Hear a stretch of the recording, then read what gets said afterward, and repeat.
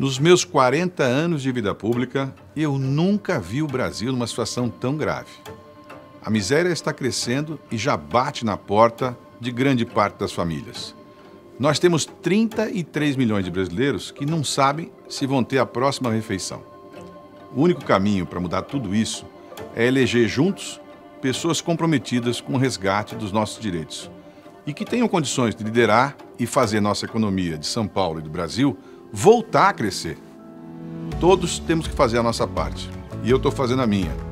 Há tempos atrás eu prometi, foi muito difícil, mas eu me comprometi que quem tivesse na frente nas pesquisas poderia ser o candidato do nosso campo político. E aqui tem palavra, você sabe disso. É por isso que eu decidi apoiar agora a candidatura do Fernando Haddad para governador. Ele reuniu essas condições e está na frente nas pesquisas. E é hora de defender, antes de tudo, a democracia.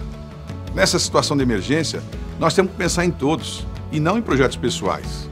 Ou juntos, nós mudamos o comando do país e tiramos o governo que está aí, ou a fome vai entrar por dentro da casa das pessoas. Isso quando a casa não se tornar a rua, a praça, o viaduto. Eu quero deixar claro que continuo o mesmo Márcio França de sempre. Independente, dono das minhas próprias ideias, sem medo e comprometido com o desenvolvimento da minha terra de São Paulo e do Brasil. Vamos juntos vencer o perigo do retrocesso e da fome. Eu vou sempre batalhar pelo resgate de São Paulo, que se renove e que ajude a renovar o Brasil. Com Lula e Geraldo Alckmin, nós vamos poder construir um verdadeiro centro democrático a partir de São Paulo. São Paulo merece muito mais. O Brasil merece muito mais. Fernando, vai você. Nós vamos juntos. Vamos buscar os nossos melhores dias.